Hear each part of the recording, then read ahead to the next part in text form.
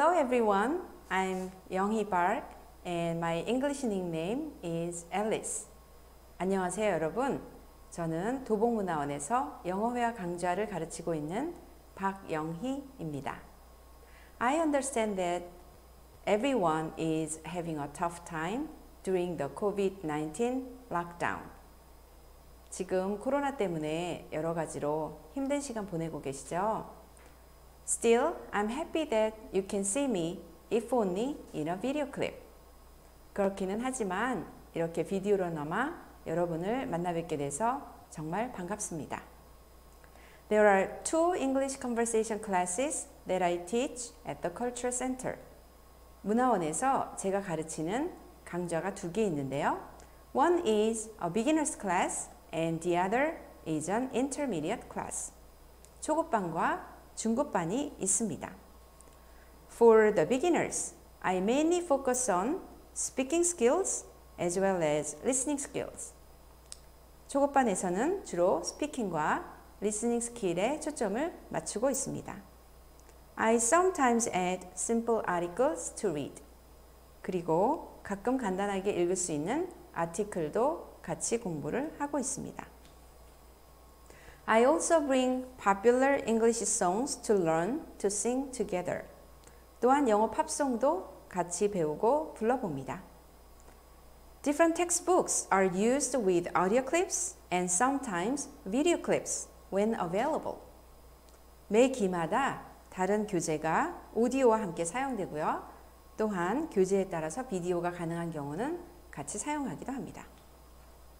As for the intermediate class, I encourage my students to talk freely about the given topic. 중급반에서는 그 시간에 주제를 공부하고 같은 주제로 프리토킹 연습을 하십니다. And I let the students read from let the students read letters from people with real life concerns, then discuss the solutions together. Dear Abby 같이 사람들의 고민에 대한 편지를 같이 읽어보고 또 해결책을 같이 토론해 보는 시간도 갖고 있습니다. Plus, I like to use some English humor and jokes to make the class fun. 수업을 좀 재밌게 하기 위해서 영어로 된 유머도 같이 읽어보기도 합니다. 중급반도 영어 팝송도 같이 배우고 있습니다. As you can see, I usually speak English first and add a Korean explanation. 지금 보신 것처럼 저는 주로 영어를 먼저 말을 하고 그리고 한국말로 설명을 드리면서 수업을 진행하고 있습니다. I also encourage the students to use English only during the class. 또한 학생분들께 수업 시간에 영어만 사용하시라고 이렇게 말씀을 드리고 있습니다. Join my class. Then you can easily meet new friends with similar interest. 제 수업에 오셔서 함께 하시면 쉽게 비슷한 취미를 가지신 분들을 만나시고 재미있게 같이 공부하실 수 있습니다. We welcome everyone. 저희는 늘 여러분을 환영합니다. Now, here's a demonstration of what I teach in the beginner's class. 자, 초급반에서 가르치는 걸 같이 한번 배워볼까요? Today, we're going to learn the dialogue that you can use when you're introducing your favorite food to foreign friends.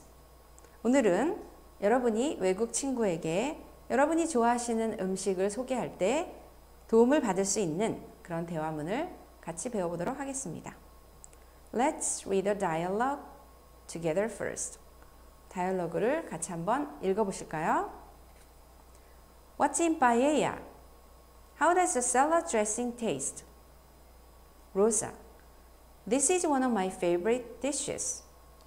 I hope you like it. Peter, it looks delicious. What's it called? Rosa, paella. It's a Spanish dish. Peter, what's in it? Rosa, mainly rice, seafood, and some spices. So, how does it taste? Peter, a little spicy, just how I like it. Rosa, I'm glad you like it. Try some salad. bitter, yum. It tastes both sweet and sour. What's in the dressing? Rosa, it's my special recipe.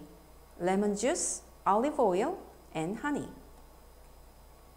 Now, let's study the dialogue line by line. 대화문을 한 줄씩 살펴볼까요? When I read each line, please repeat after me. 제가 한 줄 읽을 때 한번 같이 따라해 보세요. What's in paella? paella에는 뭐가 들어 있어요? How does a salad dressing taste? 샐러드 드레싱은 어떤 맛이 나나요? In Korea, people sometimes use the words dressings and sauce interchangeably, but actually there are some differences between the two. 한국에서는 가끔 dressing이라는 말과 소스라는 말을 혼용해서 쓰시는 경우가 있는데요. 그 두 가지가 좀 다르게 쓰입니다. A sauce is generally served hot, like spaghetti sauce, whereas dressings are served cold, like a salad dressing. 자, 소스는 일반적으로 익혀지고 좀 따뜻한 걸 말합니다. 스파게티 소스처럼. 그리고 드레싱은 어, 차갑고 익히지 않은 즉 샐러드 드레싱 같은 것에 쓰입니다. This is one of my favorite dishes. 이건 제가 제일 좋아하는 요리 중 하나예요. dish라는 말은 접시라는 뜻으로 쓰이죠. 그래서 do the dishes, wash the dishes 라고 하면 설거지하다 라는 뜻인데요. 여기서는 dish가 요리라는 뜻으로 쓰였습니다. one of, one of 더하기 복수 명사하면 뭐뭐 중 하나라는 뜻이어서 one of my favorite dishes 하면 내가 제일 좋아하는 요리 중 하나예요 라는 뜻입니다. I hope you like it. 아, 이걸 좋아하시기를 바랄게요. It looks delicious. 이거 맛있게 보이는데요. What's it called? 이게 뭐라고 불리우나요? Paella. It's a Spanish dish. 이거는 스페인 요리예요. What's in it? 뭐가 들어있나요? Mainly rice, seafood, and some spices. 주로 밥, 해산물, 그리고 약간의 양념이에요. spice라는 말은 seasoning처럼 양념이라는 뜻으로 쓰였습니다. So, how does it taste? 그래서 어떤 맛이 나나요? A little spicy. 약간 매워요. Just how I like it. 제가 꼭 좋아하는 만큼의 매운맛이에요. Here, just how I like it means you like the degree of spiciness. 여기서 just how I like it 이라는 뜻은 내가 좋아하는 정도의 매운맛이다. degree는 정도라는 표현이고요. spiciness는 spicy의 명사형이 되겠습니다. I'm glad you like it. 그걸 좋아하셔서 정말 기뻐요. Try some salad. 샐러드를 한번 드셔보세요. Yum. Here, yum is another way of saying delicious, yummy, and tasty. 자, yum이라는 표현은 delicious처럼 맛있는 이런 표현인데요. 여러분 맛있다 이렇게 표현하실 때 it's delicious 이거 하나만 하지 마시고 it's yum, it's yummy, and it's tasty or it's great, it's great, it's good 이런 다양한 표현을 한번 사용해 보시기 바랍니다. Yum. It tastes both sweet and sour. 이것은 달콤하고 그리고 어, 신맛이 둘 다 같이 나는데요. What's in the dressing? 드레싱에는 뭐가 들어있나요? It's my special recipe. 이건 제가 특별히 만든 요리법인데요. Lemon juice, olive oil, and honey. 레몬 주스, 올리브 오일, 그리고 꿀이 들어가 있습니다. During the class, I normally have my students follow what they hear from a recording. I call it shadowing. 자, 수업 시간 중에는 주로 오디오 리코딩을 들으면서 바로 따라하는 쉐도잉을 하고 있는데요. 지금은 오디오가 없어서 생략하도록 하겠습니다. Now, I want you to practice the dialogue again on your own. 자, 이제 여러분 혼자서 다이얼로그를 연습해 보세요. Now that we've practiced the dialogue, I think you can make your own dialogue using your favorite food. 자, 이제 대화문을 연습했으니 좋아하는 음식으로 여러분의 대화문을 만드실 수 있을 것 같습니다. Just switch the words in red with the information about your favorite food to make your dialogue, then practice.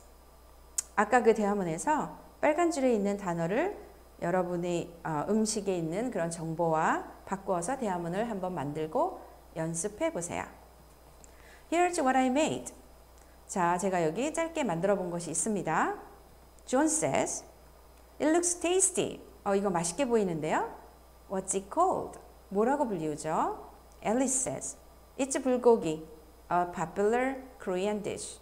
아, 이거 불고기인데요. 인기 있는, 한국에서 인기 있는 요리입니다. John says, What's in it? 뭐가 들어있나요? Alice says, It's marinated beef in a sweet soy sauce. 자, here marinated 라는 뜻은요. 양념에 재워둔 이런 뜻입니다. 그래서 양념에 재워둔 소고기예요. 달콤한 간장 소스로 된 양념에 재워둔 소고기입니다. That's it for today. I hope you enjoy this video. Until we can return to the classroom, I want you to stay safe and healthy. 자, 이제 아, 여기까지고요. 아, 비디오를 시청해 주셔서 감사합니다. 아, 그리고 저희가 교실에서 다시 만날 때까지 건강하게 잘 지내시기를 바라겠습니다. I'm looking forward to seeing you. Thank you. Bye bye.